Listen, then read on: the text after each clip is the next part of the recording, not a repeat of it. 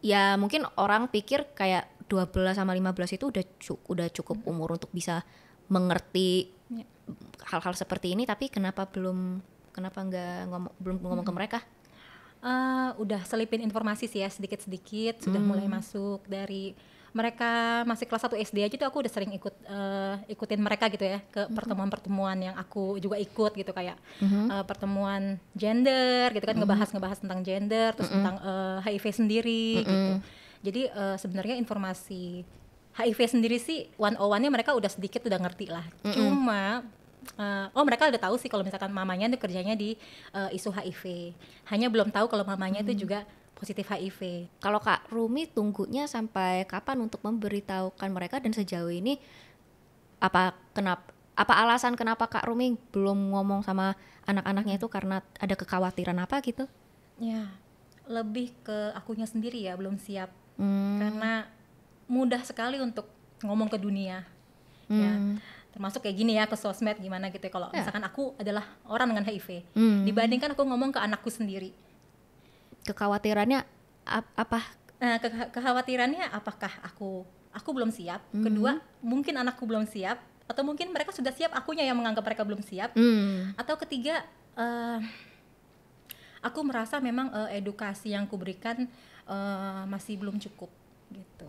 Hmm. Mungkin hanya untuk pembenaran diriku sendiri ya. Mm, mm, mm, mm. Nah, karena kalau eh, kayak eh, edukasi seks sesuai dengan umurnya sedikit-sedikit aku udah eh, nyampein ya karena kan eh, seksual itu kan dekat sekali dengan HIV juga ya Mm-mm. Eh, pencegahan HIV penularan HIV itu aku sedikit-sedikit udah Mm-mm. udah ngasih tahu lah ya gitu ke anakku cuman ya memang eh mungkin sedikit lagi memperkuat hati ibunya sendiri mungkin ya Hmm. untuk ngasih tahu ke anak-anak Kemarin waktu aku filming sama si Kak Panji, kayaknya kalau nggak salah Kak Panji bilang ada pernah kasus-kasus di mana anaknya dikeluarkan dari sekolah karena bukan bukan karena anaknya yang HIV sebenarnya tapi gara-gara salah satu orang tuanya atau kedua orang tuanya. Seperti itu. Dan juga bawa informasi sekedar informasi kayak oh orang tua aku atau salah satu orang tua aku itu eh, orang yang hidup dengan HIV itu bisa me aduh ngomong bahasa Indonya gimana lagi? Like it can jeopardize their memberikan status. memberikan diskriminasi jadi efek Di- diskriminasi, diskriminasi tapi juga kayak maksudnya tuh ada konsekuensinya Iya, itu betul. berat sekali bagi anaknya. Betul itu salah satu kenapa eh, podcast kali ini ya. Aku eh ya tadi seperti yang dikatakan sebelumnya ya aku belum bisa membuka status ke anakku sendiri ya kan? Karena aku takut ya kan? Eh, efek dampak buruk apa yang akan dia dapatkan ya kan? Ya ketika dia eh, orang lain tahu misalkan teman-teman di sekolahnya tahu atau gurunya tahu kalau dia itu punya orang tua HIV gitu kan? Aku belum tahu dampak dampaknya apa gitu kan? Mungkin tidak ada dampaknya mungkin juga lebih banyaknya sih dampak buruknya gitu. jadi aku masih belum siap eh, akan kalau misalkan ada dampak-dampak buruk lah gitu. Iya, kalau sampai anak-anak atau guru-guru di sekolah tahu Iya. atau mungkin kadang-kadang juga kan ini anak-anaknya masih 15 tahun kan yang paling tua. Ya 15 tahun juga sebenarnya masih agak muda ya, apa jangan-jangan mungkin mereka keceplosan kayak gitu, terus apa salah salah percaya orang, terus orangnya malah sebar ke mana-mana kayak gitu. Iya betul. Terutama kan sebenarnya itu karena orang-orang di sekitarnya itu masih belum terinformasi baik ya Hmm. tentang HIV. Hmm. Kita tahu lah masyarakat kita seperti apa gitu ya. Kalau misalkan masyarakatnya udah oke, informasi HIV-nya baik, edukasi HIV-nya bagus gitu kan, tahu pencegahan, penularan, Mm-mm. nggak semudah itu gitu kan nggak semudah itu nggak eh, pelukan eh, salaman atau berenang gitu ya atau gigitan Iya. nyamuk bahkan gitu kan Ah, ah, iya kemarin Kak Panji itu ceritain. nggak nggak semudah itu menular gitu kan andai kan kalau orang semua orang tahu gitu kan eh, nggak akan ada dampak-dampak negatif lah gitu untuk orang dengan HIV wal- eh, begitupun untuk anak-anaknya gitu. Mm-mm. Kalau boleh tahu, kalau nyaman eh, sharing dengan pendengar-pendengar, mungkin ceritanya Kak Rumi pertama kali terkena, ah, katanya benar kah? Terkena HIV dalam, Iya, ya. boleh, Aku aku cuma mau, Terinfeksi boleh nggak so- soalnya ini aku juga ini, ini kok topiknya sensitif, terus aku bahasa Iya. Indonesianya miskin kosakata. Jadi aku mau kayak hati-hati Iya. aja. Jadi eh, yang tadi aku maksud itu mungkin cerita pertama kali Kak Rumi Oh, terkena iya. HIV itu baga kapan, bagaimana pertama kali eh, pertama kali Kak Rumi juga tahu bahwa Kak Rumi terkena HIV gitu. Jadi waktu itu 2011 tahun 2011 aku lagi hamil anak kedua. Hmm. lagi hamil usia kandungannya lima bulan. Hmm. aku dulu tuh nggak tahu apa apa mengenai HIV tuh sama sekali buta. Sama sekali nggak ngerti. Aku cuman pernah aku ingat dulu waktu zamannya masih SD gitu ya aku pernah ngeliat banner gede-gede gitu ya di jalanan gitu kan ya HIV penyakit mematikan. Jadi aku cuma taunya ya HIV itu mematikan. Hmm. udah itu tok sampai situ. Ketika eh, hamil lima bulan lalu diperiksa eh, jadi pas hamil lima bulan itu kan di rumah sakit itu ada pemeriksaan tuh.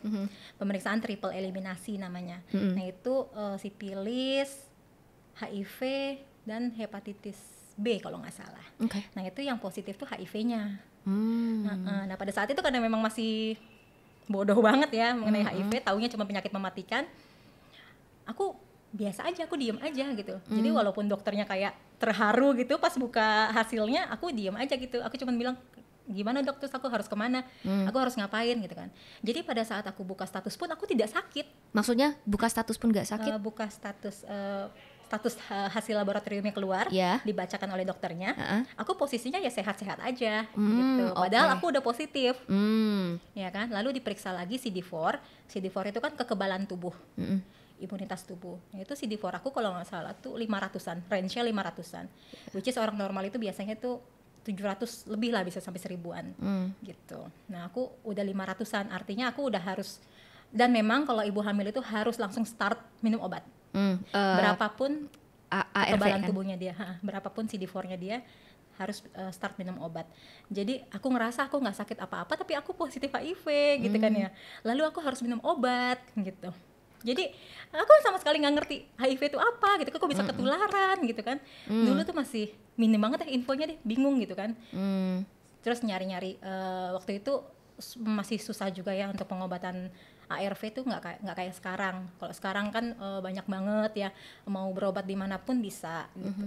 Kalau dulu tuh aku tuh di refer ke rumah sakit eh, salah satu rumah sakit besar lah di Jakarta gitu ya. Di situ baru aku bisa eh, berobat eh, HIV-nya gitu. Hmm, pas saat eh, pas saat hamil kan? ya pas saat hamil. Apakah Kak Rumi tahu bagaimana Kak Rumi dapat terkena HIV? Keta eh, how do you say did you find out? Iya, tertular dari mana iya. kalau tertular dari mana dulu waktu aku pertama kali tahu status Hmm. itu hal pertama yang dokter-dokter juga katakan gitu tanyakan ke aku kan Hmm. lalu aku berpikir ya untuk apa lagi kita flashback ke belakang nyari tahu ketularan dari mana Hmm. nggak ada gunanya Ya. nggak ada gunanya ya kan kalau mau flashback ke belakang lagi tuh bagaimana cara ketularannya tuh sebenarnya banyak banyak faktornya sih gitu. Ah, ah, iya. karena eh, mantan suamiku juga tuh eh, pengguna narkoba aktif Hmm. jarum suntik Ya. Mm-mm. mungkin bisa jadi dari Bisa situ saja, ya, aku nggak nggak nggak eh, menjudge nggak menuduh Hmm. mantan suamiku karena dia eh, kebetulan dia memang pengguna narkoba jarum suntik wak- waktu itu. Hmm, tapi ya bisa saja. Tapi bisa saja ya karena Ya. dari hal yang lain ya kan. Hmm. Hmm, oke, I see. Oke, jadi habis itu ya hamil dengan anak tadi berapa ke anak kedua? Anak kedua. Kak Rumi itu kan seseorang yang eh, yang yang orang yang hidup dengan HIV Ya. tapi melahirkan anak yang HIV negatif. Ya negatif tiga-tiganya. Jadi eh, aku baru menikah lagi tahun 2021 eh 2020 aku melahirkan anak lagi anak ketiga Mhm. di tahun 2021 dan sekarang usianya tiga tahun Hmm. negatif juga. Jadi anak ke satu aku negatif, kedua aku negatif, ketiga aku negatif, semuanya aku susui. Hmm. Semuanya aku berikan ASI. Tapi kan HIV itu menular lewat Susu eh, air susu juga, ah, darah. jadi mengatasi itu bagaimana tuh? Udah ada program PPIA namanya di Indonesia nih sejak tahun 2011 itu kalau nggak salah. Jadi PPIA itu ada empat prong. Prong yang pertama tuh eh, mencegah penularan HIV Mhm. pada perempuan usia produktif. Hmm. Lalu yang kedua itu prong keduanya adalah eh, merencanakan kehamilan bagi perempuan yang HIV positif. Mhm. Jadi perempuan dengan HIV positif dianjurkan untuk merencanakan kehamilannya, ya kan? Atau merencanakan untuk tidak hamil misalkan, ya kan? Mm. Jadi bisa keduanya. Eh, itu bisa dengan KB, ya kan? Eh, dan juga harus eh, mengontrol viral load-nya. Viral load itu kayak jumlah virus dalam darah. Mhm. Jadi harus di eh, eh, apa ya sampai tidak terdeteksi baru eh, boleh program PPIA untuk eh, punya anak gitu. Lalu yang ketiga itu ada pencegahan penularan HIV dari ibu ke anaknya. Misalkan eh, cara persalinannya, Mhm. eh, cara menyusuinya gitu. Nah, kalau yang keempat itu prong empat adalah eh, dukungan psikososial untuk ibu dan anaknya setelah melahirkan gitu. Nah, eh, si penularan HIV dari ibu ke anak ini ada di prong tiganya PPIA. Mhm. Jadi bagaimana caranya supaya eh, anak dengan eh, anak dari ibu dengan HIV bisa terlahir negatif? Mhm. Nah, itu kita harus kontrol dari mulai si ibunya itu merencanakan kehamilan. Hmm. Dari perencanaan kehamilan aja itu ibunya tuh harus VL-nya itu harus eh, tidak terdeteksi. Jadi tidak terdeteksi apa virus ya dalam darahnya. Baru eh, bisa program hamil. Hmm. Gitu. Lalu terus dipantau juga minum ARV. Mhm. Selamanya ya minum ARV ya Oh, seumur iya. hidup ya. Iya, iya. Heeh. Nah, pada saat eh, apa ya eh, melahirkan juga itu udah harus direncanakan sejak lama gitu pilihan persalinannya. Hmm. Mau normal, orang bilang normal ya. Mau normal atau eh, pervaginam ya orang bilangnya, pervaginam atau sesar operasi gitu. Memang selama ini tuh banyak banget dokter tuh nggak berani kalau misalkan eh, orang HIV tuh mau lahiran normal pervaginam. Itu banyak banget dokter yang nolak gitu kan. Alasannya nga- tuh kayak ngaruh ya. ngaruh katanya sih ngaruh memang sih eh, itu adalah hal-hal yang beresiko juga ya tapi eh, pedoman WHO kan selama ini kan memperbolehkan eh, orang dengan HIV itu melahirkan secara pervaginam normal dan Iya. menyusui Hmm. Gitu. Jika mengikuti step-step PPIA Hmm. gitu. Itu aman sih. Oke. Gitu. cuma memang banyak dokter di luar sana yang masih takut nggak mau ambil resiko. Gitu. Oh, nggak mau ambil resiko aja padahal udah tapi sebenarnya udah ada ter- panduannya udah ada Iya, iya, udah ada asal ikut apa pengobatan yang rutin kayak gitu. Iya. Ya, Mm, seharusnya udah ada udah, udah oke. Jadi bisa lahiran normal juga, pervaginam bisa, bisa menyusui juga. Nah itu untuk menyusui sendiri kalau misalkan anaknya udah lahir kan bakalan dikasih profilaksis tuh, ARV.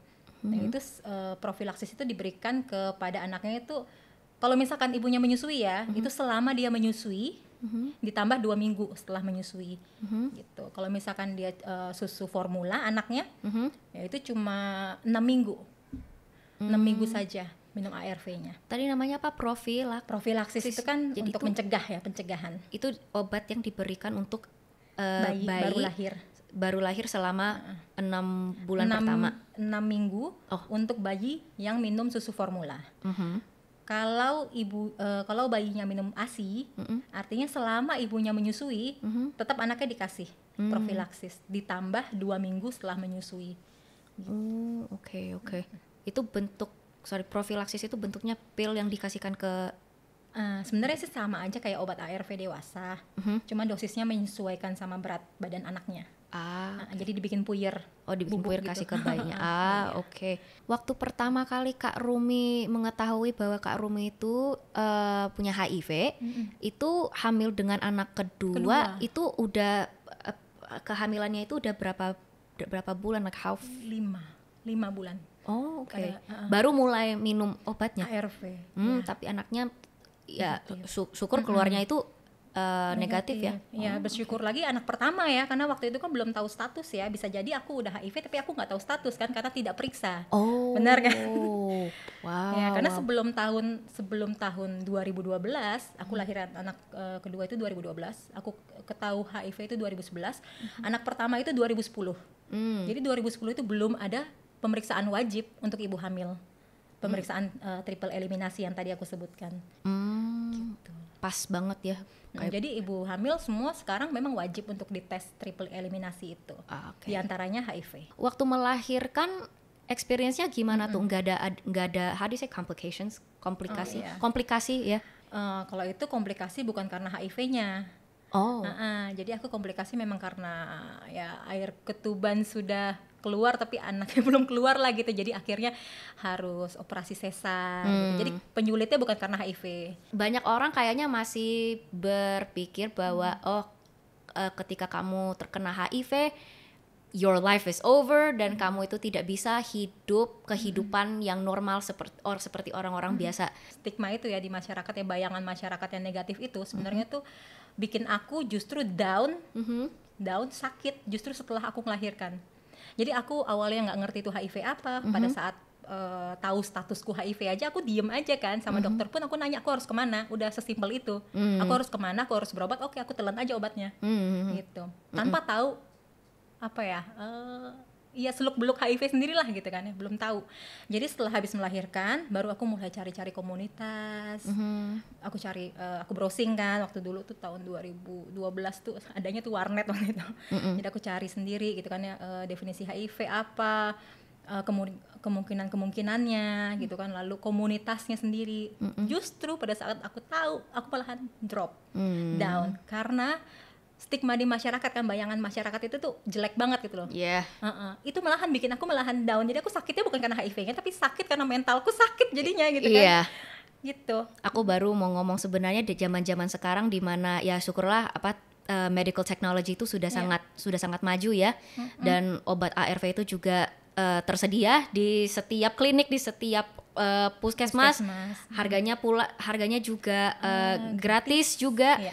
Sebenarnya itu masalahnya zaman sekarang untuk orang-orang yang ting- yang hidup dengan HIV itu bukan HIV-nya sendiri tapi lebih eh, ke bagaimana orang-orang deng- yang hidup dengan HIV itu diperlakukan dalam masyarakat. Dari stigma sehari-hari tapi juga employment.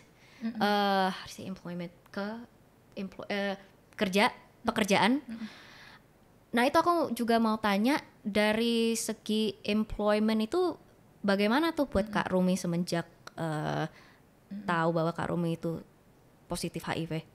Apakah itu mempengaruh pengalamannya Kak Rumi mencari eh, mencari pekerjaan dan juga mendapat pekerjaan? Dulu waktu aku pertama kali tahu status HIV ya, aku masih kerja di eh, sektor formal lah gitu, bukan di eh, komunitas HIV. Kalau sekarang kan aku di komunitas HIV.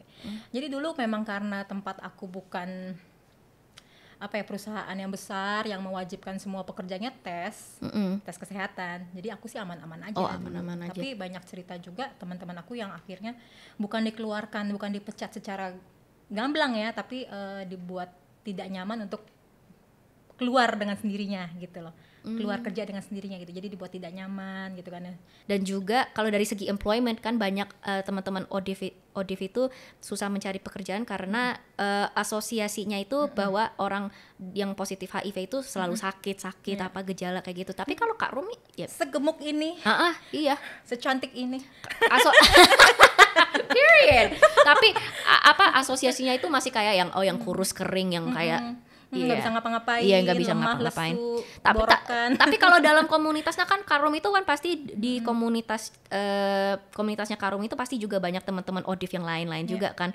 Kalau dari circle-nya si Kak Rumi ini kebanyakan eh, teman-teman Odifnya Kak Rumi itu badannya seger buger aja atau ada- juga yang mungkin ada komplikasinya kayak gitu. kalau dia tidak teratur minum obat nggak patuh ya bisa aja kembali ke fase itu Nah kalau Kak Rumi kan ya pasti kelihatan teratur minum obat. Tapi Teratur. ad- banyak teman-teman ODIV yang di luar sana itu mereka nggak minum obatnya itu nggak teratur.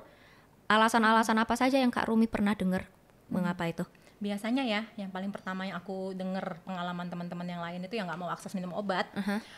Karena layanan kesehatannya tidak friendly Hmm, coba Mm, cerita. masih ada stigma di layanan kesehatan sendiri Layanan kesehatan jadi maksudnya itu eh, apa mereka pergi ke puskesmas yang terdekat tempatnya mereka kayak gitu misalnya Iya. masih di banyak stigma dari yang eh, pemberi ob- pemberi Hmm, karena obatnya. kenal gitu mungkin kan ya Hmm. kalau dekat-dekat dengan rumah biasanya kan puskesmas terdekat itu kan puskesmas kecamatan yang eh, menyediakan ARV biasanya kan dekat dengan lingkungan rumah ya kan biasanya Yeah. tuh teman-teman tuh takut tuh takut kalau ada tetangganya juga yang kenal ada eh, yang berobat di situ atau ada yang kerja di situ Iya. ya kan itu sih biasanya kenapa teman-teman akhirnya memilih layanan ARV-nya tuh yang jauh dari rumah Hmm. tuh supaya nggak nggak ada orang yang kenal lah gitu Iya. Dan juga sebenarnya yang ini aku Aku juga pernah begitu soalnya.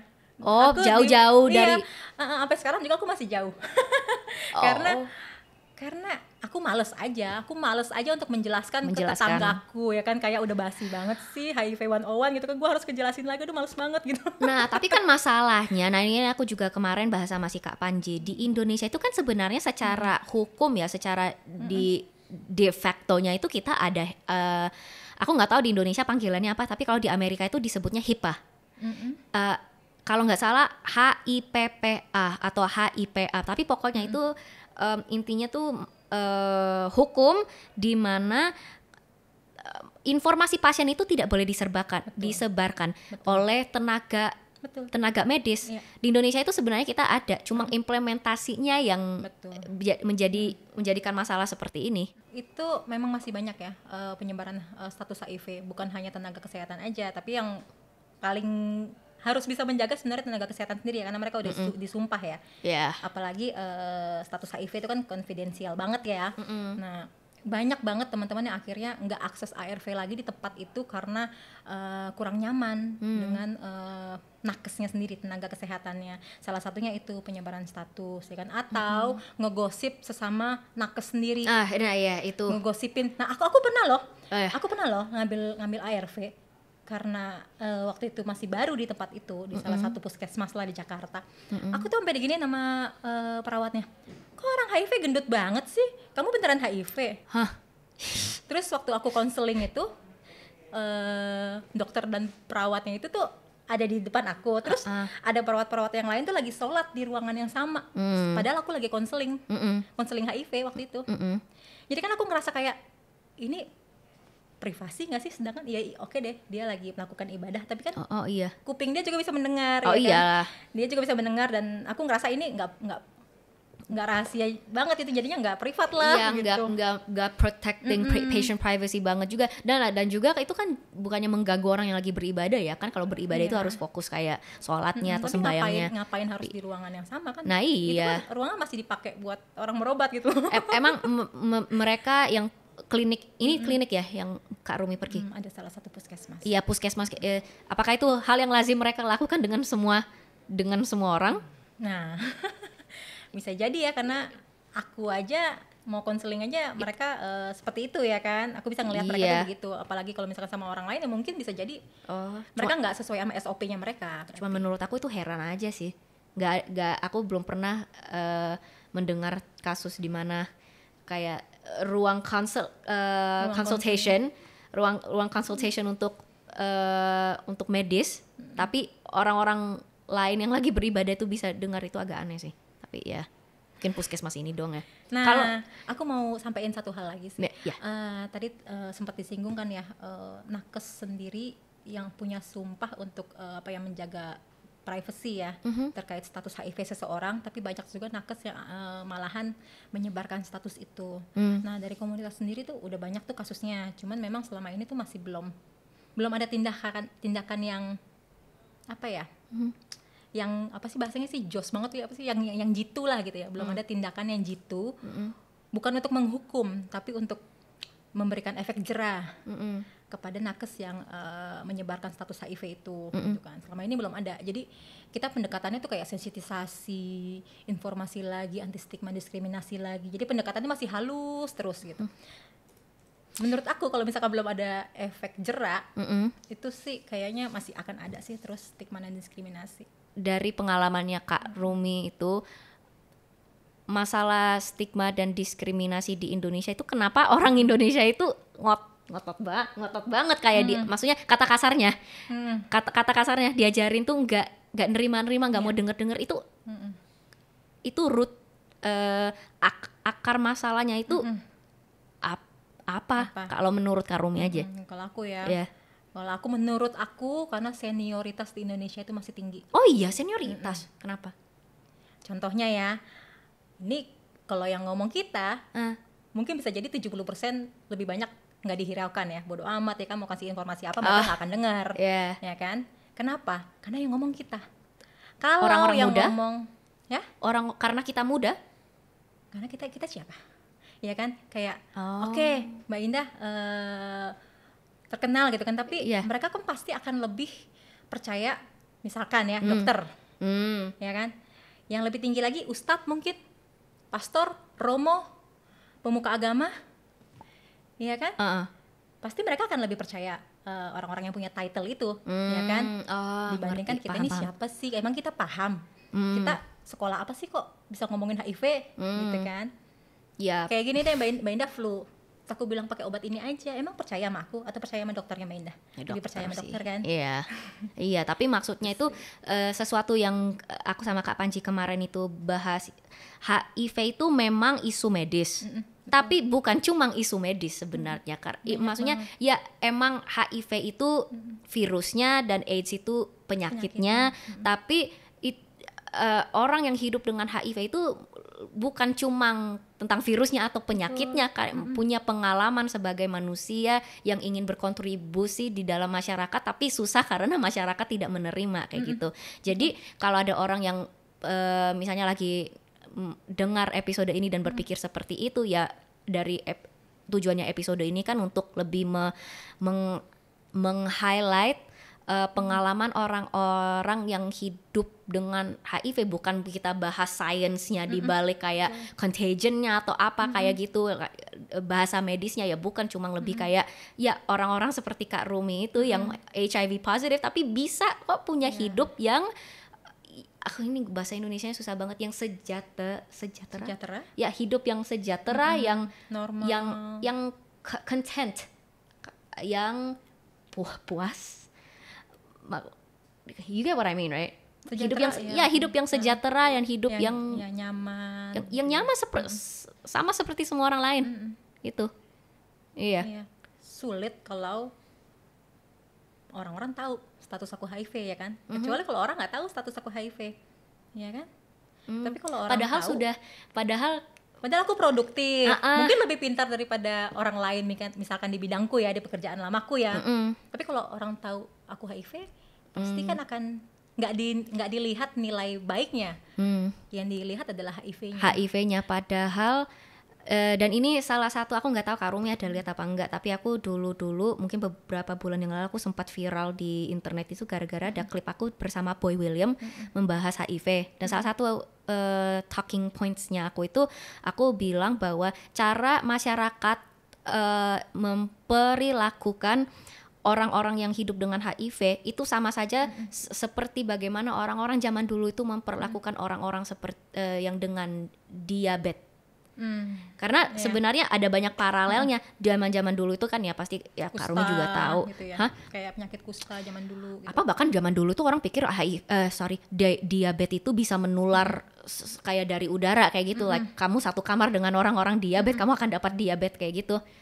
Ya ja- jam zaman dulu tuh orang berpikirnya seperti itu. Tapi kan zaman sekarang kita udah lebih banyak pengetahuan Iya, dan juga mungkin mungkin juga ada elemen open lebih open mindednya terhadap diabetes di mana kita kalau ada rekan kerja yang diabetes itu ya kita nggak pikir kayak oh dia diabetes tapi dia pinter ya kayak gitu. Sedangkan pasti HIV ya pasti masih kayak gitulah. Betul sekali. Orang kan akan melihat tuh eh, lebih ke dampak buruknya ya daripada untuk mendukung Hmm. si orang itu sendiri gitu.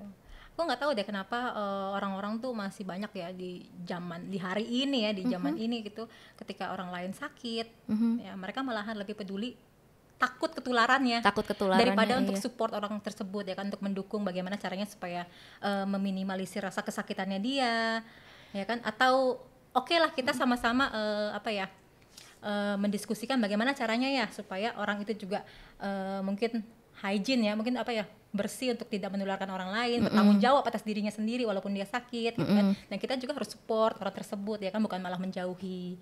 Hmm. itu sih. Tapi ya, tadi lagi sih balik lagi mungkin tadi ada yang kepotong ya. Kalau aku bilang eh, informasi HIV itu kalau misalkan disampaikan oleh orang-orang yang berpengaruh kayak tadi aku sebutkan yang mungkin pemuka agama atau dokter itu akan lebih lebih apa Diterima. ya? Di- iya diterima gitu, Iya. daripada eh, orang yang nggak tahu itu siapa gitu kan ya mungkin lebih baik orang-orang yang makanya itu aku sih inginnya ya inginnya tuh pemuka agama sendiri pun apalagi orang-orang Indonesia itu kan sangat eh, berpegang teguh dengan agama agama ya jadi ya lebih percaya dengan pemuka agamanya gitu kan ya. Mm-hmm. Aku sih kepengennya tuh untuk masalah HIV ini pemuka agama itu juga uh, harus punya pengetahuan yang baik Hmm. gitu terkait HIV sendiri. Jadi dia bisa menyampaikan, menyebarluaskan informasi yang baik dan benar. Has there ever been efforts to try and talk to these religious leaders to try and educate them about HIV? Sebenarnya ini flashback ya.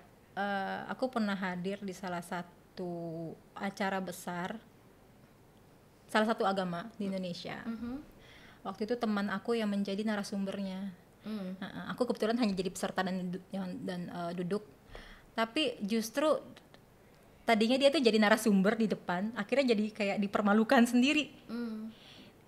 padahal tuh is- eh, isinya tuh eh, peserta undangan itu adalah semuanya adalah pemuka agama. Semuanya. Ini aku jadi ingat. Karena di situ tuh teman aku tuh bener-bener menyesal datang ke situ. Karena justru eh, pertanyaan-pertanyaan yang dilontarkan oleh pemuka agama itu sendiri tuh merendahkan merendahkan bener-bener eh, kayak gini nih ngapain? Iya diskriminatif ngapain? Udah tahu dia itu pengguna narkoba tapi kamu masih mau nikah sama dia kayak gitu ya. Misalkan suaminya suaminya pengguna narkoba gitu kan. Mhm. terus eh, kayak ngapain lagi gitu kan ya? Kamu eh, masih kerja kayak gitu kan dia kebetulan eh, pekerja seks. Ngapain kamu masih kerja kayak gitu? Itu salah kamu sendiri kamu ketularan HIV gitu. Hmm. jadi kayak bukannya disupport atau pertanyaan-pertanyaan lain yang membangun tapi justru pertanyaannya itu malah apa ya menjudge ya bisa Iya, Eh, malah jadi eh, eh, jadi kayak dia pokoknya dia tuh kasihan banget deh udah ada di depan gitu kan ya dia eh, testimoni tentang dirinya sendiri bagaimana Iya. dia bisa bangkit dari HIV Iya.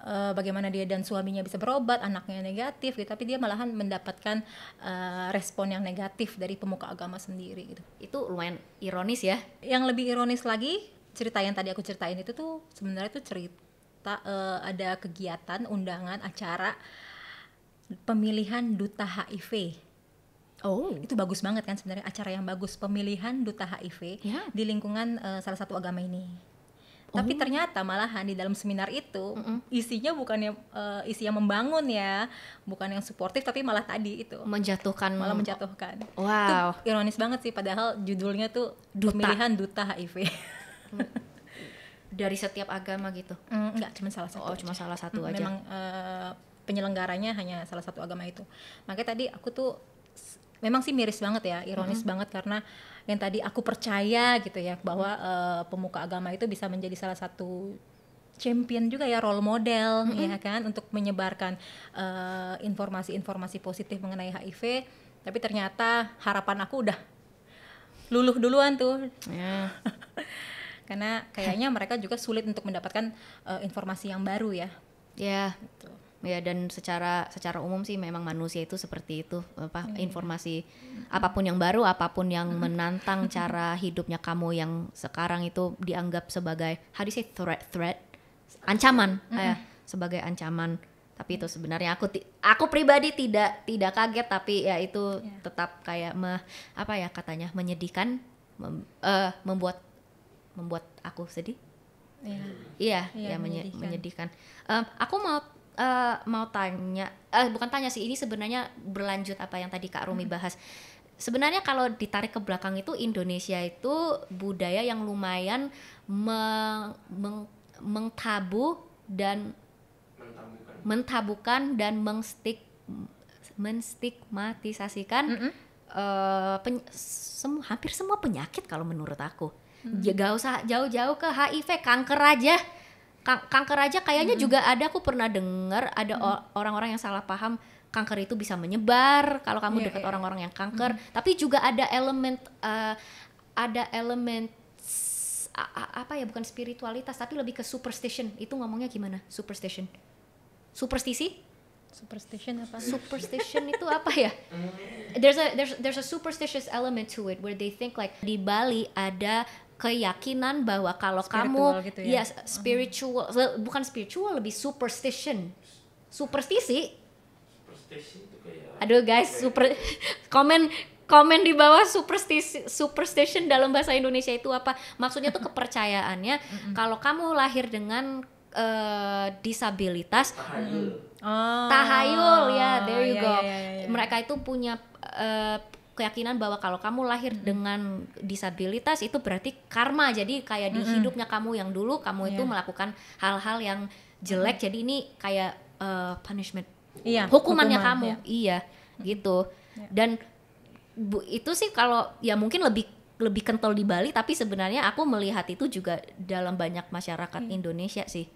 Kanker. masih, masih banget. kanker bahkan sebenarnya aku juga kenal beberapa orang yang hadisnya pengidap diabetes. Peng- pengi- pengidap diabetes tapi eh, karena takut stigmanya mereka nggak mau ngaku ke orang-orang bahwa mereka itu Diabetes. type 1, type 2 diabetes. Padahal kalau dalam pikirannya or- sebenarnya orang-orang seperti aku pikirannya kan lah kan cuma dia kan cuma diabetes. Mau di stigmanya itu apa? Mm, tidak menular gitu Ah, ya. Ah. tapi kayaknya mungkin nggak nular. Kayaknya tuh yang aku lebih sering lihat itu ada wal diakui atau tidak diakui mereka itu berpikir bahwa ini pasti sebuah kayak hukuman untuk dosa dulu Mm-mm. kayak gitu kalau aku sih mikirnya bisa dua sudut pandang ya Hmm. karena aku juga orang yang beragama gitu punya agama dan aku sedikit mempercayai agamaku gitu ya Hmm. ada statement memang eh, kita sekarang adalah kita di masa lalu ya bagaimana kita di masa lalu gitu katanya ya kan karma gitu kan karma gitu ya Iya. Satu sisi juga kalau misalkan mikir pakai logika manusia sih kayak ya enggak itu kan memang apalagi diabetes ya diabetes itu kan tidak menular gitu ya. tidak ada yang perlu ditakutkan sebenarnya Mm-mm. mungkin ya beberapa diabetes itu kan ada yang kayak luka terbuka gitu yang susah sembuh ya mungkin orang-orang ngeliatnya kayak gitu ya kayak luka yang mengerikan yang terbuka gitu kan ya Iya kan banyak kan sampai diamputasi gitu jadi Oh orang-orang iya. Mm-mm. Iya. luka-luka yang ya busuk jadi orang-orang mikir kan udah jijik nggak mau nggak mau deket-dekat jadi Iya. mungkin stigmanya sih seperti itu Iya. setahu aku karena diabetes itu tuh eh, nggak bisa menularkan sih aku juga nggak tahu kalau misalkan diabetes itu katanya bisa mm, diturunkan ke Bisa type anaknya type 1 gitu. biasanya, iya. Heeh, Iya, seperti itu sih Memang tapi sebenarnya mungkin orang itu cenderung masyarakat itu cenderung lebih memfokuskannya eh, fokusnya tuh begini kayak oh ini orang sakit berarti ada something wrong, ada sesuatu yang yang sal yang salah, yang rusak kayak gitu. Kayak pandangannya itu kayak oh ini orang rusak. Mm-mm. Kayak kalau kamu itu lahir dengan apa pun Cacat. itu kelainan, ke- ke- kekurangan, kelainan a- itu ya dianggapnya kamu seperti barang rusak gitu. Mm-mm. Ya, bagaimana dengan anak-anak misalkan yang memang udah dari lahir dia HIV positif? Dia apakah menanggung dosa orang tuanya gitu atau kehi- dosa dia dari kehidupan yang lalu gitu? Sa- sayangnya sih, sayangnya sih, nah ini aku tahu, sayangnya di masyarakat, apalagi di Indonesia masih banyak yang berpikirnya seperti itu. iya kan, kan kasihan banget itu anak-anak yang butuh support gitu kan, anak-anak yang nggak tahu apa-apa. Ka- Kalau Kak Rumi itu punya teman-teman eh, ODIV lain yang mempunyai anak-anak yang HIV positif tidak? punya waktu masih kecil mungkin gampang ya dikasih obat tinggal mangap aja ah, ah, minum ya kan? Semakin dia besar semakin bertambah umur dia kan udah punya ego sendiri kan ngapain aku harus minum obat? Aku nggak sakit. Ya kan? Mm, mm, mm. ada yang sembunyi-sembunyi nggak diminum obatnya? Nah iya itu. ada yang dia harus minum obat di saat mungkin jam minum obatnya di saat jam pelajaran ditanyain ya kan sama gurunya. Akhirnya dia jadinya nggak mau minum obat lagi karena takut ya malu. Eh, tapi setelah ini pengalaman aja ya yang aku lihat dari teman-teman komunitas yang punya anak dengan HIV Mhm. di saat mereka beranjak remaja banyak dari mereka yang accept dirinya Mm-mm. menerima keadaannya Mm-mm. banyak juga yang akhirnya denial denial pergi aja gitu dia nggak mau akses obat dia nggak mau ya pokoknya nggak mau berobat rutin lah gitu nggak nggak mau tahu lagi terkait HIV gitu karena itu kan sangat sangat merugikan ya merugikan baik buat dia baik eh, dan orang lain juga. Karena seperti kita tahu anak-anak dengan HIV itu kan carrier virus HIV. kalau mereka tidak dikasih tahu sejak dini bagaimana pencegahannya bagaimana dia harus apa ya nggak bisa ditolak juga mereka adalah manusia yang punya hasrat seksual. Mereka remaja yang akan beranjak dewasa kita harus memberikan mereka eh, edukasi seksual juga ya kan buat anak-anak dengan HIV juga bagaimana mereka bisa melindungi dirinya sendiri dan pasangan seksualnya Mm-mm. ya kan nah itu banyak dari anak-anak itu yang tadi aku bilang sebagian mereka menerima dirinya sebagian lagi mereka pergi denial dengan dirinya nah itu anak-anak yang pergi itu bagaimana Yang Siapa pergi yang mau? kayak secara harafiah kayak mereka pergi mereka ka- kabur atau Eh, maksudnya kabur dari pengobatan kabur dari pengobatan. Hmm. Apakah itu eh, itu pasif? Ini mungkin aku kejauhan ya, mohon maaf ya. Tapi mungkin eh, apakah is, is that passive suicidality? Kayak em, ke suicidality itu bahasa Indonesianya tuh gimana sih? Enak ngomongnya? bunuh diri Pa- Iya pak, ingin bunuh diri tapi secara pa- pasif. Kayak mereka itu eh, apa sih katanya putus asa? mungkin bisa jadi putus asa Iya. mungkin bukan untuk bunuh diri ya tapi lebih kayak ya Bunuh dirinya kan tapi secara perlahan ya. Iya, mentalnya gimana ya? Aku juga nggak bisa ngebayangin bagaimana kita terlahir dengan HIV. Hmm. bukan keinginan kita untuk lahir. Lahir aja bukan keinginan kita, bukan keinginan kita sendiri. Ya. apalagi kena HIV. Ah, ah, iya. Iya kan? Ah. lebih desperate sih di situ sih. Aku eh, pernah dengerin juga curhatan dari satu, salah satu anak juga. Nah aku lagi keinget itu anak itu sekarang terus aku jadi agak gemeter. Hmm. Hmm, ya aku pernah dapat curhatan juga dari dia eh, bukan karena virus HIV-nya sebenarnya terlebih itu mungkin virus HIV-nya itu kedua ya alasan keduanya dia. Tapi alasan pertamanya dia kenapa dia akhirnya kabur tanda kutip dari pengobatan HIV dan dia nggak mau tahu lagi terkait penanganan HIV ya. Karena orang tuanya sendiri. Kenapa orang tuanya? karena orang tuanya tuh nggak nggak nggak bisa apa ya nggak bisa jadi teman dekatnya dia gitu. Jadi dia tuh ngerasa sebenarnya itu kehilangan sosok orang tua aja gitu. Sehingga sebenarnya seperti remaja pada umumnya ya permasalahannya ya. Dia tidak dekat dengan orang tuanya eh, dan dia ngerasa orang tuanya itu tuh yang eh, membuat dia HIV gitu. Jadi lebih menyalahkan orang tuanya. Eh. gitu sih.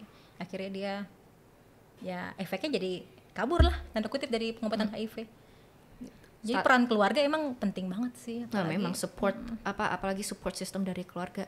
Apalagi. Tapi anak itu sekarang apa lanjut dengan pengobatannya atau Nah, itu dia tadi aku keinget makanya aku pengen nanya sih sebenarnya sih dia masih lanjut nggak ya hmm, aku udah lama sih belum kontak lagi hmm, nah terakhir itu ibunya sih meninggal makanya aku belum tahu update nya hmm, meninggal Terakhirnya. karena eh, ibunya tidak minum ARV lagi kenapa?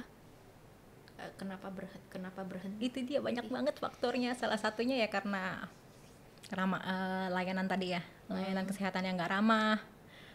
Wow. kedua ya karena mental healthnya juga ya karena dia banyak dapat stigma sana sini dari keluarga dari suaminya sendiri waktu terakhir. Suaminya sendiri kebetulan suaminya adalah HIV negatif gitu kan. Jadi eh, awalnya sih baik-baik aja sih kayaknya ya. Eh, kalau mereka punya masalah berantem Mm-mm. senjatanya itu. Lu tuh orang HIV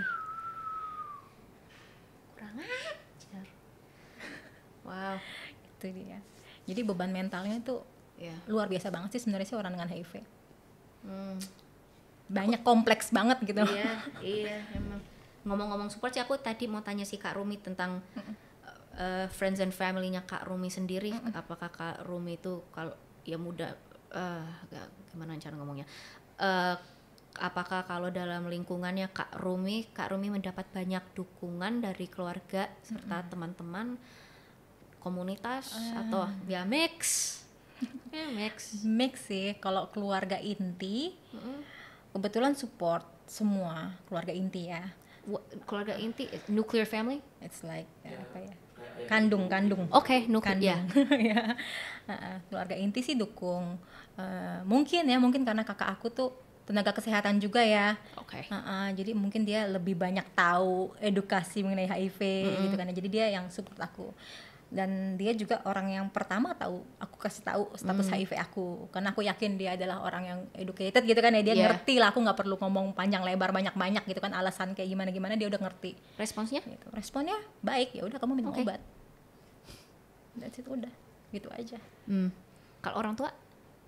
Orang tua eh, ibu tuh kan nggak ngerti masalah HIV juga. Mm-mm. jadi ya, HIV apaan gitu. Oh, jadi enggak enggak usah, nggak usah kasih enggak usah kasih tahu kak U- Atau- udah aku kasih tahu Oh, tapi udah. ya Tapi nggak- responnya kayak gitu HIV apaan? Gitu. jadi aku jadi malah oh, ketawa kayak sendiri. beneran kayak nggak tahu HIV itu apa. Oh oke. Ya. Ya orang zaman dulu banget kan jadi mm-mm. ya udahlah dia nggak tahu HIV ya udah aku nggak usah terusin lagi kan nggak usah ngasih tahu panjang lebar lagi. Karena takutnya kalau misalkan dia bener-bener tahu tapi dengan apa ya informasi yang salah kan nanti jadinya takut atau takutnya nangis malahan stres gitu kan. Jadi ya udahlah kalau dia nggak tahu ya udahlah. Aku udah ngerasa aman karena aku udah nyampein aku status HIV itu ke kakakku. Itu cukup sih. Cukup ada salah satu keluarga sih yang menurut aku tahu dan itu udah cukup. Jadi kalau misalkan aku misalkan kenapa-napa gitu kan iya, misalkan iya, iya. aku kecelakaan misalkan Iya. terus aku harus eh, apa? Operasi. Mm-mm. kan itu harus disampaikan ke tenaga kesehatan juga kan kalau aku positif HIV gitu.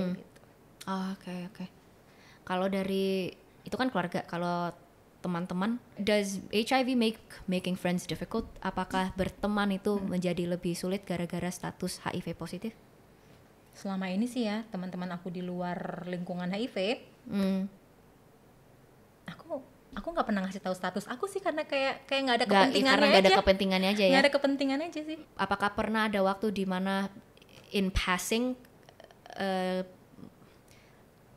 has, has, has has there ever been like a time where you maybe like mention it in passing? Kayak gitu t- t- kepada teman-teman yang bukan HI, uh, HIV positif dan mereka bereaksi bagaimana kayak gitu? Kayak in passing maksudnya kayak st- uh, mereka ngomong kayak sengaja. Bukan nggak sengaja lebih kayak kayak um, apa Cuek. ya? Cuek aja ya, gitu se- ya secara cuek kayak kayak oh ya, mis- misalnya oh ya bentar aku harus minum obat o- o- obat ARV dulu misalnya kayak gitu. Kayak secara kasual aja ngomong terus mereka kayak tahu kayak oh ternyata dia HIV positif kayak gitu. Kalau ke temen ya temen sih enggak. Tapi kalau ke keluarga suamiku yang sekarang iya.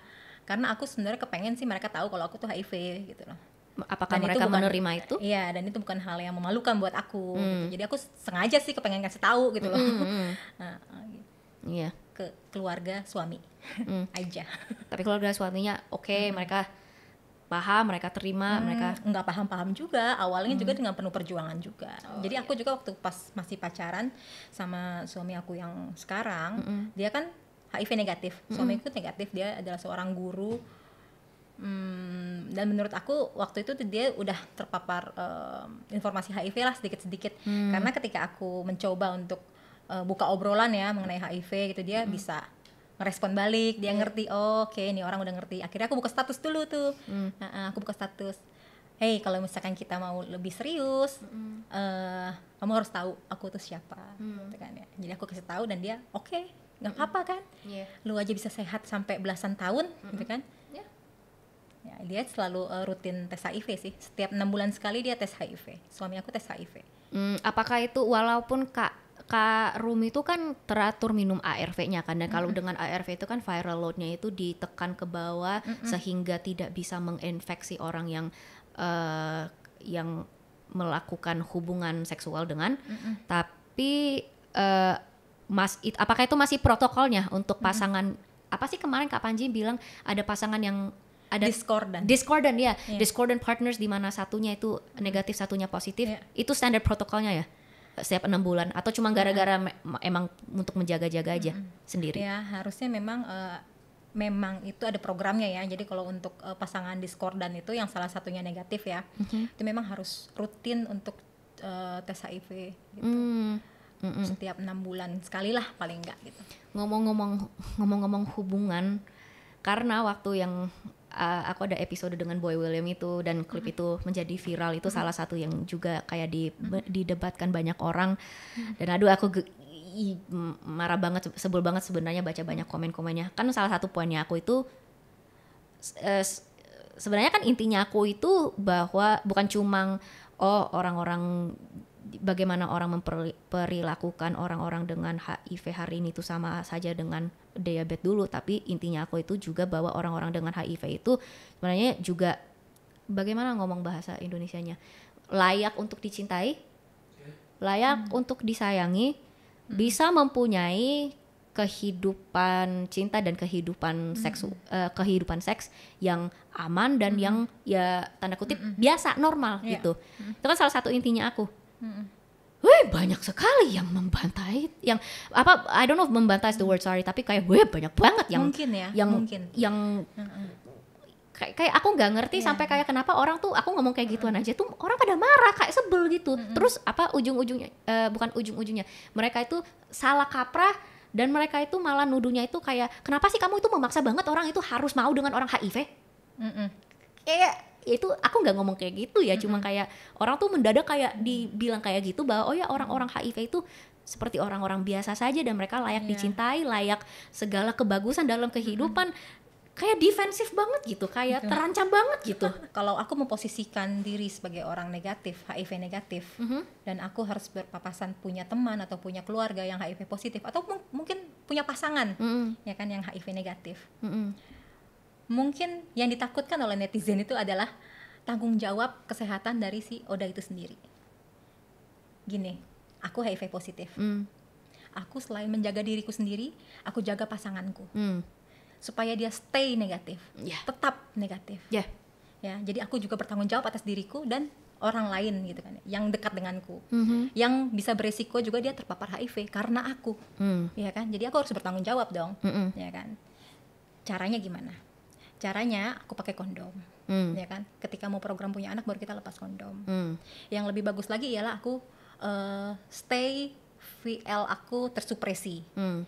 viral load aku, virus aku tidak terdeteksi, sehingga aku tidak bisa menularkan suami aku Mm. dan aku tidak bisa menularkan anakku, Ya. ya kan? Ya. Aku adalah ibu yang bertanggung jawab, Mm. walaupun aku adalah orang dengan HIV Yes. sekalipun, Ya. gitu. Jadi orang HIV sendiri itu harus bertanggung jawab atas dirinya Mm. supaya tidak menularkan, Ya. ya kan? Mungkin netizen tuh butuh garansi terkait itu bahwa orang dengan HIV sendiri tuh bisa nggak sih eh, bertanggung jawab kayak aku gitu tadi, ya kan? Hmm, bebannya itu sangat sangat berat sih untuk orang-orang Hmm. ODIF karena bebannya untuk mereka terus menerus membuktikan dirinya mereka itu Mm-mm. itu ya sebenarnya Betul. berat dan juga tidak adil sebenarnya. Aku udah berhenti. Aku udah berhenti untuk apa ya melakukan pembuktian ke orang-orang gitu kan. Kalau aku eh, orang dengan HIV, aku sehat, aku bisa produktif, aku sudah berhenti untuk bicara itu. Aku hanya memberi apa ya, memberi contoh aja, ya kan, memberi contoh. Oke, aku dengan orang dengan HIV, aku bisa minum obat, aku sehat, aku bisa melahirkan tiga anak negatif semua. Mm-mm. Dan aku rasa itu sebenarnya harusnya cukup ya. Udah cu- iya. sebenarnya. Cukup lah, jangan dipertanyakan lagi. Mm-mm. Capek banget kan. Oh iya gitu. pasti. Tapi sampai sekarang pun HIV itu enggak termasuk dalam kurikulum sex educationnya anak-anak sini ya. Setahu aku ya, yang aku dapat cerita dari anakku di sekolah sih belum ada. Hmm. Belum ada sama sekali. Apakah belum waktunya karena masih terlalu dini atau maksudnya kayak nggak ada rencana untuk diajarin sama sekali? Itu kayaknya kita harus cari tahu sama-sama ya. Mm-mm, iya. Kayaknya penting banget sih. Ya, iya, cuma ma- eh, masalahnya sih pemerintah Indonesia itu kan udah tahu HI HIV AIDS itu sebenarnya masalah yang besar di Indonesia. Sebenarnya itu salah satu cara untuk eh, combat masalah ini itu kan dengan ya yang pasti pendidikan lah, informasi. Cuma ya gimana kalau pemerintah nggak mau? Aku jadi teringat tuh kata-kata aku tadi yang di awal ya. Aku ngelihat banner segitu gedenya zaman dulu zaman aku SD. HIV itu adalah penyakit yang mematikan, ya kan? Kalau misalkan memang pemerintah benar-benar niat untuk memberantas HIV ya, menanggulangi HIV. Kenapa mereka nggak bikin iklan segitu gedenya sekarang? HIV sudah ada obatnya. Ya kan? Atau yang se ekstrim itu loh, kenapa enggak? Iya, ya. dulu aja tuh ekstrim banget gitu loh HIV belum ada obatnya HIV penyakit mematikan sekarang udah baik-baik aja udah bagus-bagus banyak programnya kenapa nggak dibuat aja sekalian semasif itu gitu Iya, iya, iya, iya. ya kan Iya sih, aku aku juga nggak kepikir ya, like uh, what's stopping, apa susahnya untuk pemerintah untuk iya membuat iklan itu, Iya, betul. kecuali karena mereka sendiri. Sebenarnya kadang-kadang aduh ini mungkin aku agak suzon atau aku agak berpras aku sendiri yang mungkin berprasangka buruk, cuma kadang-kadang aku tuh kayaknya kadang-kadang emang orang itu cuma ingin percaya hal-hal buruk tentang HIV dan- dan orang-orang tentang HIV karena orang-orang masyarakat itu membutuh me- membutuh emang butuh berita viral aja gitu ya? Eh, bukan tar- target they need a, they need a- sasaran they need sasaran. ya mereka butuh sasaran untuk eh, untuk dibenci dan untuk di kayaknya seru aja ya seru gitu ini ya tak sebenarnya kalau dipikir secara eh kalau dipikir secara logika itu sih juga masuk akal. Emang emang benar sebenarnya manusia eh, as a as a group kita itu memang cenderung membutuhkan the other kayak lawanannya kayak gitu. Iya, iya. dan dan aku kadang-kadang pikir apakah itu mungkin kenapa walaupun sainsnya itu sudah clear obat medicine-nya itu sudah clear semuanya itu sudah clear cuma orang itu ngotot aja. Kayak mereka itu gak mau dikasih tahu apakah ke- ya karena mereka cuma ya enaknya itu mempunyai seseorang untuk dibantah dong. ya. eh. mungkin sifat nature-nya manusia mungkin ada seperti itu ya. Mm-mm, oke. pasti ada sesuatu yang ingin dibantah. Selain sex education juga tuh eh edukasi mengenai kekerasan iya. kekerasan berbasis gender. Hmm. karena orang dengan HIV itu bisa jadi dia tertular HIV karena pemerkosaan kekerasan seksual. Yep. ya kan? Bisa jadi dia tertular HIV karena itu atau bisa jadi orang dengan HIV Hmm.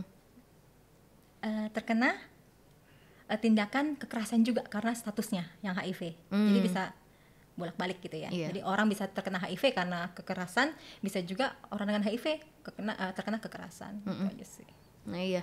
Dan mengemaskan topik itu. Sebenarnya ini topik-topik yang kita semua itu tahu dan pasti setuju itu topik yang penting untuk diangkat penting untuk kita juga se- sekali-sekali ya mungkin gak setiap hari dipikirin tapi kayak sekali-sekali dipikirin kan.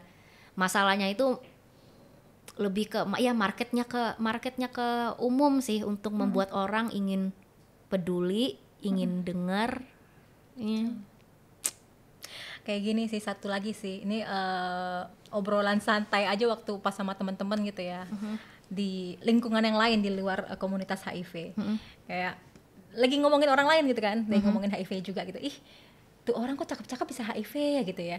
Dan aku kan kayak asli iya. aku kayak aku pernah dengerin dalam hati tuh anjir gitu. Untung dia nggak tahu gue juga HIV Hmm. jadi kayak berarti masyarakat kita itu masih mikirnya kayak tadi orang HIV itu kurus kering jelek budukan segala macam lah ya, lemes gitu Ah, ya. Ah, iya. dia nggak tahu ya orang dengan rupa sehat sekalipun itu ya bisa jadi dia punya penyakit ya di dalam tubuhnya. Jadi setiap orang itu ya harus tes HIV atau tes kesehatan lainnya ya terutama kalau tes HIV itu kalau misalkan eh, melakukan hubungan beresiko ya. Mm. kayak menggunakan narkoba misalkan narkoba suntik jarum suntik secara bergantian atau dia eh, melakukan hubungan seksual beresiko tidak menggunakan kondom ya kan dia harus eh, rutin tes HIV.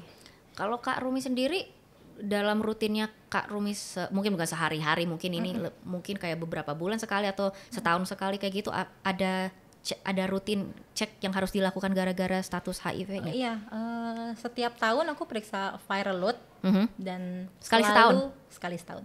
Selalu tidak terdeteksi Ya. jadi virus aku udah Ya mungkin juga orang itu berpikirnya kayak ah kalau HIV itu apa ribet karena harus ke rumah sakit bolak-balik ke rumah sakit mulu padahal ya kayak minum obat teratur aja terus ya setahun sekali pergi ke rumah sakit. Ya sama aja kayak aku aku nggak HIV tapi setahun sekali aku ke rumah Check sakit untuk juga. ya full body check kayak Iya. gitu.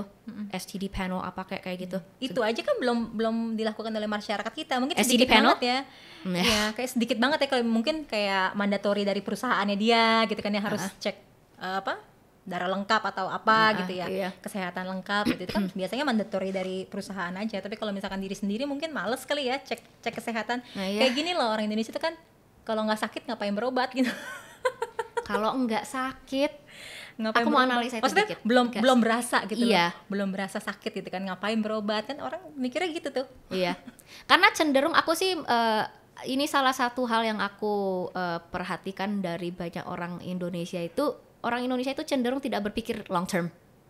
Kayak maksudnya tuh ya memang kalau nggak sakit sekarang ya ngapain? Aku ke rumah sakit padahal kan tujuannya ke- rumah sakit dan tujuannya dari healthcare itu sebenarnya biar kamu itu bisa eh, perawat pe- perawatan tubuh ya. merawat mm, kesehatan.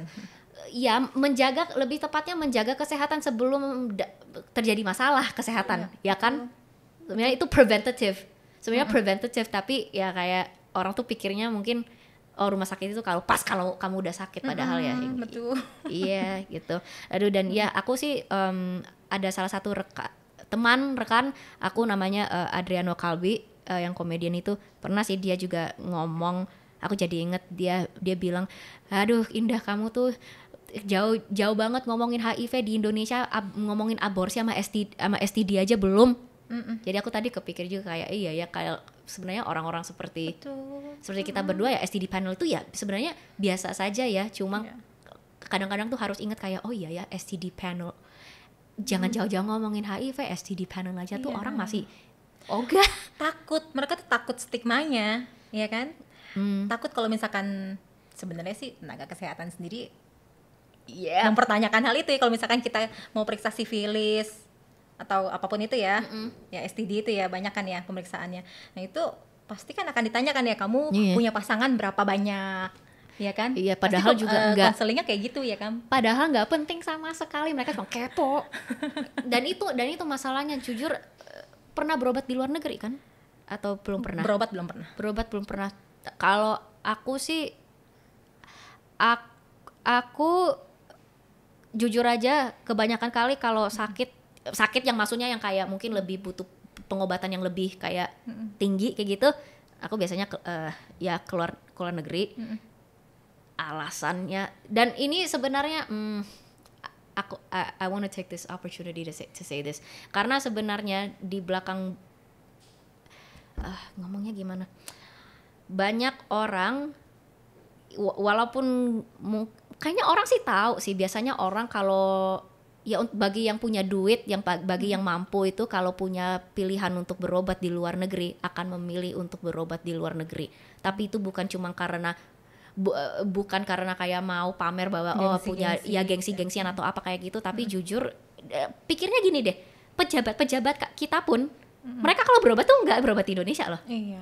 mereka tuh berobatnya mereka ke luar negeri mereka pergi ke Singapura mereka pergi ke US ke mana kayak gitu. Dan ya itu banyak sekali alasan-alasan mungkin medicine uh, obatnya itu lebih uh, available di luar negeri atau apa mungkin mereka punya teknologi yang lebih canggih ya itu juga benar. Tapi alasan yang pal yang salah satu paling besar tapi banyak orang itu tidak nyaman untuk ngomong keluar itu gara-gara kualitas tenaga medis di luar negeri. Itu jauh lebih profesional.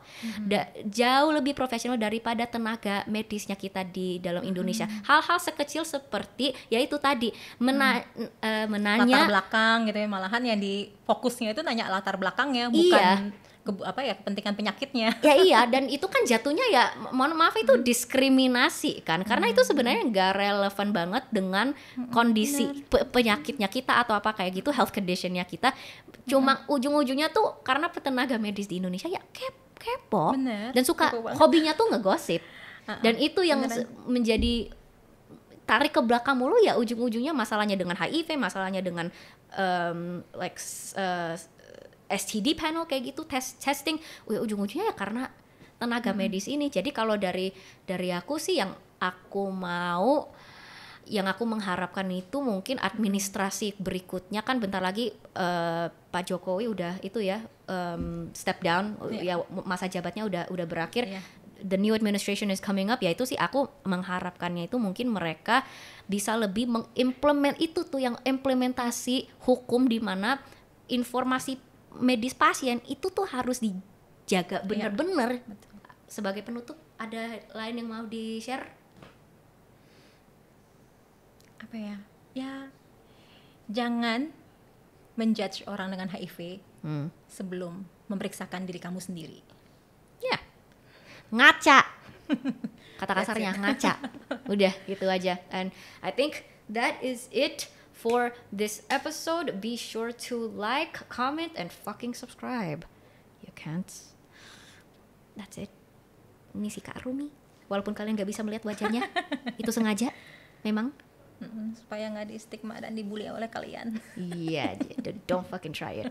Anyways, bye bye. I want to give a quick shout out to the sponsor of today's episode, the Indonesian AIDS Coalition, a leading NGO in HIV programs here in Indonesia. They are a community based organization that's been making incredible strides in the fight against AIDS since 2011. They work tirelessly to enhance transparency, accountability, and community participation in AIDS programs by collaborating with various stakeholders, including government and non government entities. One of the most commendable efforts by the IAC is their dedication to reducing stigma and discrimination against people living with HIV, children and women, and female sex workers. They champion the belief that people living with HIV all have the same rights as everybody else, including access to healthcare, education, a decent livelihood, and children's rights. They have played a pivotal role in reducing the prices of antiretroviral drugs, developed a comprehensive data system for HIV prevention programs amongst female sex workers, and even made it possible for transgender individuals across Indonesia to issue new identification cards that align with their gender expression.